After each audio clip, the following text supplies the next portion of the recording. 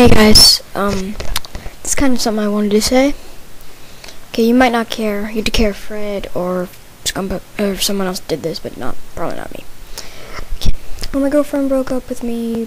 I'm sad. Okay, I'm gonna stop making videos for a while. Might be forever, might not be.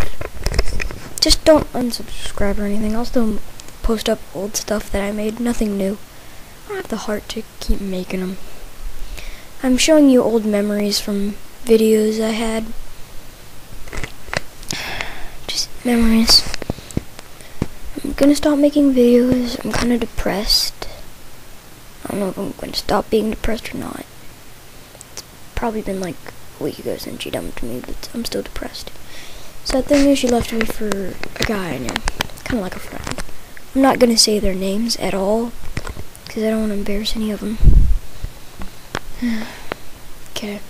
Some of you that are closer to me, probably like Brian Bryce, would already have known this and might have suspected I was leaving.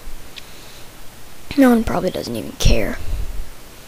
I gotta cut this short, because running out of pictures. Could scump a pie out.